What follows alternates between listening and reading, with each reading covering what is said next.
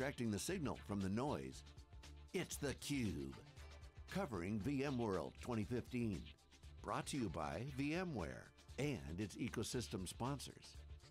And now your host, Dave Vellante. Welcome back to San Francisco, everybody. This is theCUBE, SiliconANGLE Wikibon's continuous coverage of VMworld 2015. This is day two. Jonathan Stinson is here. He's an IT practitioner with Hendrick Medical in Abilene, Texas. Yes. Welcome to theCUBE. Yeah, thank you for having me. I'm excited to be here. Yeah, so this is a great event. We're talking off camera about VMworld. I mean, as an IT practitioner, I mean, everyone uses uh, VMware. Oh yeah. Right? This is your wheelhouse. Your peers, um, you've really transformed your IT organization, as have many others. So, talk a little bit about you know VMworld, what it's what it's like for you. Oh, it's, it's great to come out here to, to get more hands-on experience with uh, some of the tools that we don't use, uh, hopefully yet. I'd like to use more of these. Um, it's great to just be able to talk to professionals, to talk to vendors.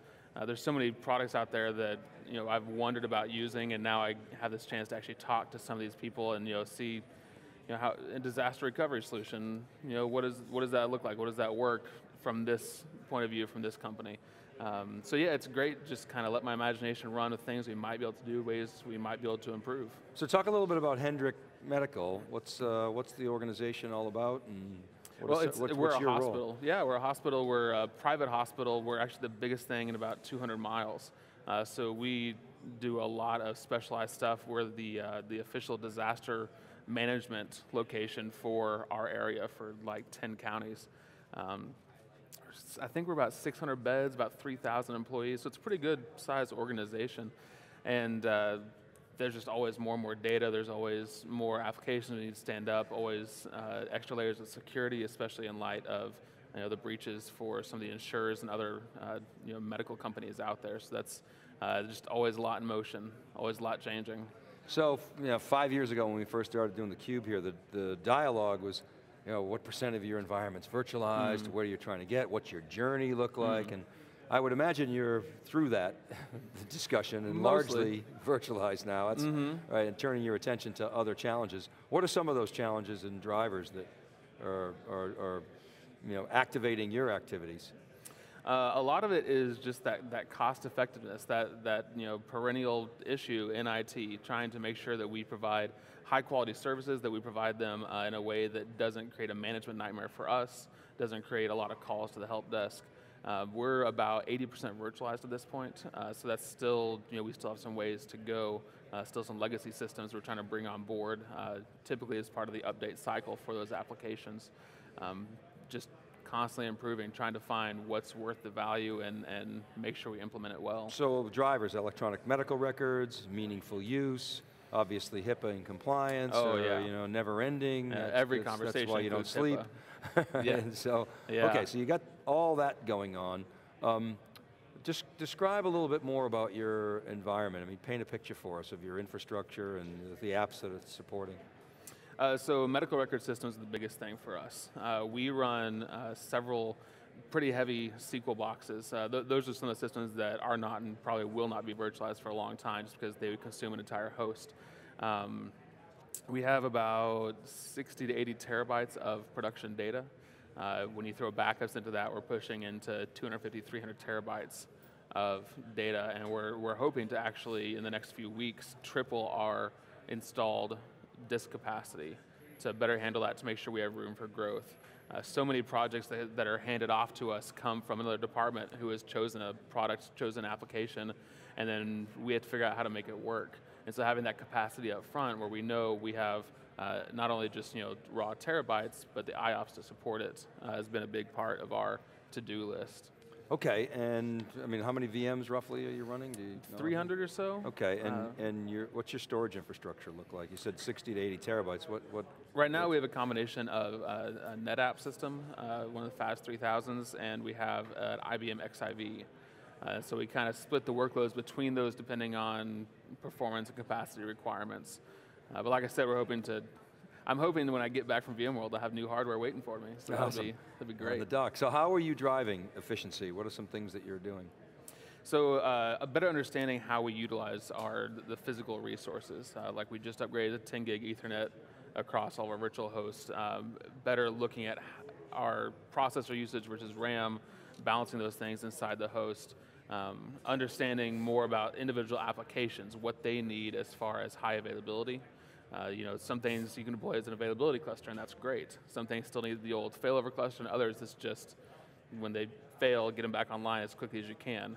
Uh, so finding the ways to automate a lot of that survivability uh, is something that we spend a lot of time talking about, a lot of time implementing. So Catalogic invited you here uh, mm. on, on theCUBE today. Uh, we know a little bit about their company. We had their CEO on, Ed Walsh, the other day. Uh, how are you using catalogs generally and Catalogic specific? Can you talk about that? Yeah, so uh, you know, Catalogic provides a couple of really good services for us. Uh, it's the foundation of our backup system, uh, which you know, any, any important data has to be backed up. Uh, they have uh, really great tools for not only making sure it's backed up initially to you know, a secondary storage, uh, but also to make sure it's replicated in an appropriate amount of time to a secondary site. Uh, so they, uh, they make that whole workflow very easy. We get uh, a much simpler insight into what's going on when it's failed, what's broken down. Uh, before I had an email, before Catalogic, I had an email coming in, there's about 300 kilobytes every day. They just gave me the rundown of everything that happened in the backups in the last 24 hours. Uh, and it was a mess. Most of that data I didn't need, but in you know, the off chance that something went really wrong and I needed to go back and look at you know, detailed stuff, it was there. Uh, with Catalogic, I get uh, just a simple email that says, this failed, this is out of RPO, this is um, you know, what's going on. And you know, there's always some systems down, so systems, systems being upgraded. There's always something that, okay, yeah, that, that wouldn't have backed up, that's fine. That wouldn't, okay, this one I actually need to look at. And Catalogic makes that very easy for us. Um, they also give us good insight into a lot of our file management. So on the NetApp, you know, you do block level, you can also do file level storage. And uh, with their catalog, we can we have a report ready to go on the NetApp, all the file shares.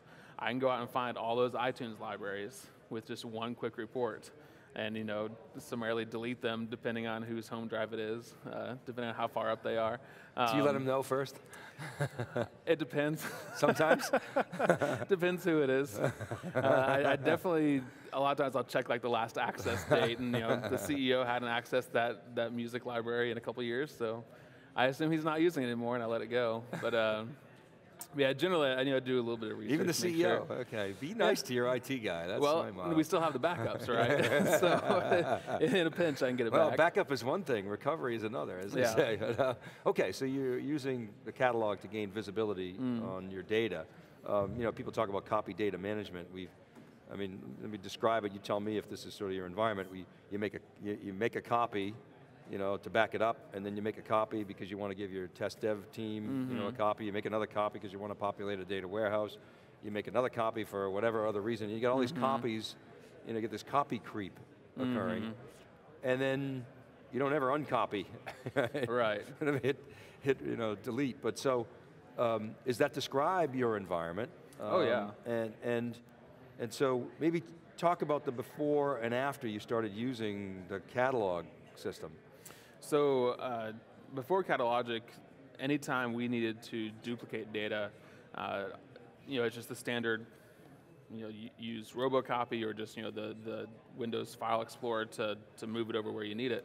Uh, with Catalogic, if someone needs a set of files, I don't even really need to know which specific files. I can take that whole drive and say, you know, a good example would be a developer who said, you know, I, I did an all-nighter and I made several changes and they didn't work out in the end. I need to roll back but because it was the middle of the night, I wasn't thinking about source control. I don't have access to that. I can get into, you know, as the, the backup guy, I can get in there and say, okay, let me give you Tuesday night, and let me give you Monday night, whichever one of those it was, because you can't remember. And so those drives, I don't have to worry about the specific files. I don't need to worry about the folders. It's just as easy for me to, to map, you know, a half terabyte volume back to his server for the last three days. You know, your D drive is where your development's going on. Okay, E is you know, yesterday, F is the day before that, G is the day before that.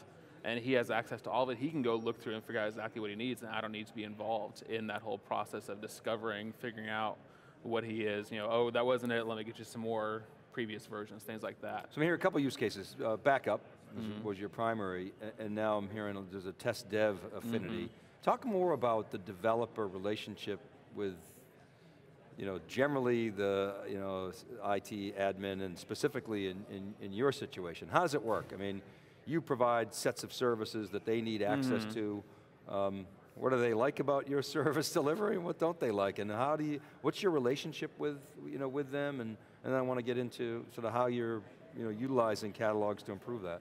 Uh, so we have a good relationship. Um, actually, I would say in our department, really, we do all get along pretty well and really have a pretty good sort of team approach to a lot of things. So uh, typically what will happen, uh, and you know, some of it's more extreme than others. Like we had a situation recently where one of our developers got very sick, was unable to be in the office uh, for, for several weeks, and so other people were getting in trying to figure out what to do.